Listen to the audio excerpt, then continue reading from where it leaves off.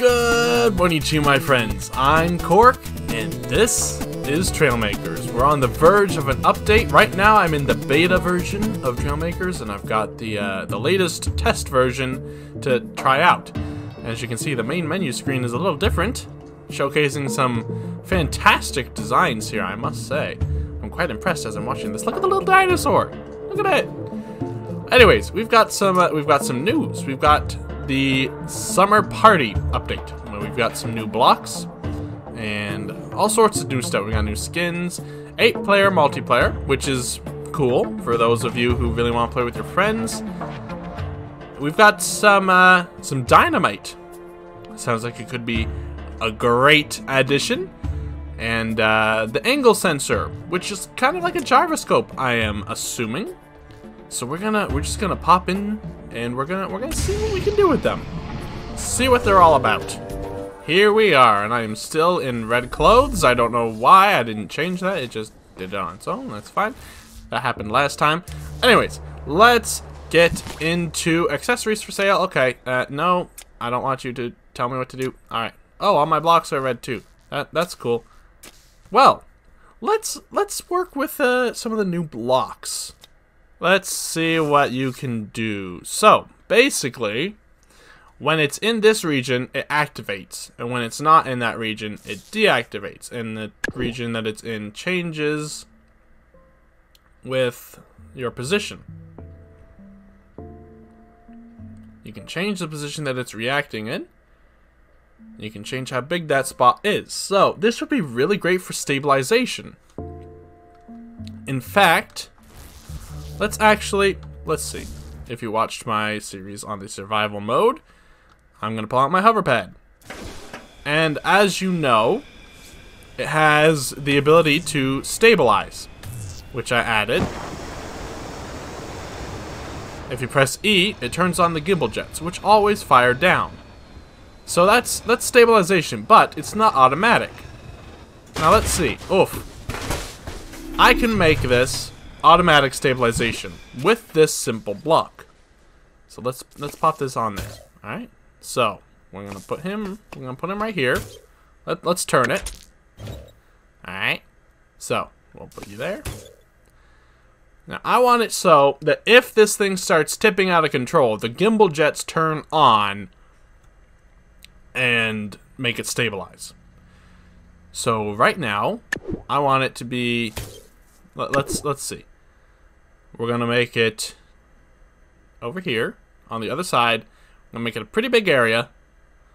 There we go. So when it reaches that area, it will turn on the gimbal jets. So now when I fly way up into the sky, and then I start to flip over, you see my gimbal jets, they automatically push me back the other way. See, I'm not activating those by myself. That's completely the machine doing it itself. That's really cool. So now, when I'm stranded in space and I want to collect a piece of salvage, I'm flying down with it, and all of a sudden I start tipping over. I, I literally cannot flip this thing over right now.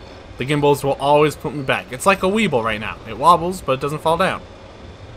This is really, really cool. This is great. You could make all sorts of stabilization mo modules with this. You could even stabilize a walker. If you're having trouble keeping your walker up, just make it so it starts tipping, you got some jets that push it back onto its course. This is a fantastic new block. I'm absolutely stoked that they added it. This is gonna this is gonna add so many more possibilities to builds, It's making things so much more simple. Alright, let's land this thing. Easy. Whoa! Okay, that's never happened before. I mean, maybe it has. Okay, let's see. Where's the, uh, Where's the dynamite? Eh, there you are. Highly explosive, handle with care. I think I won't. Let's just make a whole bunch of it.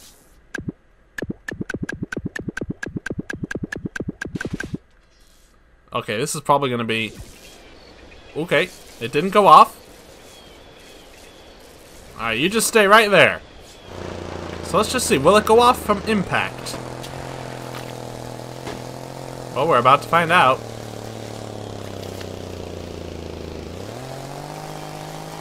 Ah!